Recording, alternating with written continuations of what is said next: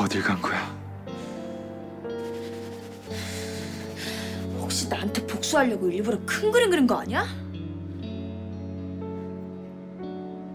아니지. 시간이 남아도는 사람도 아니고. 씨, 아니 그럼 대체 왜 사람을 비오는 길가에다가 버려두고? 씨. 난비 오는 날 싫어합니다. 차라리 날짜를 바꾸죠.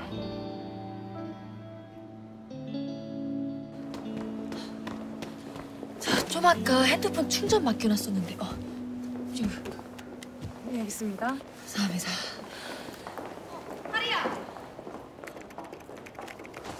뭐야? 니들이 왜 여기 있어? 부산 간다고 하지 않았어? 민우 촬영지가 여기로 바뀌었다고 했잖아. 카톡 못 봤어?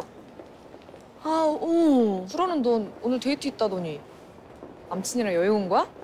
아, 그 야, 우리 사이에 웬 내수? 이왕 이렇게 만난 거 네 부자 남친 구경 좀 하자. 그래, 소개 좀 시켜줘, 하리야. 보여줘. 보여줘. 아, 그 실은 내가 남자친구랑 온 게 자기야.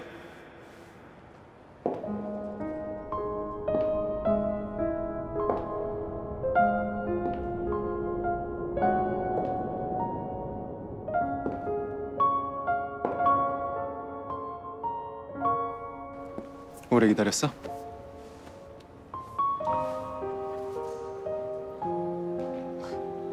하, 하리야. 누, 누구셔? 아, 그, 반갑습니다. 하리 씨 남자친구 강태무라고 합니다.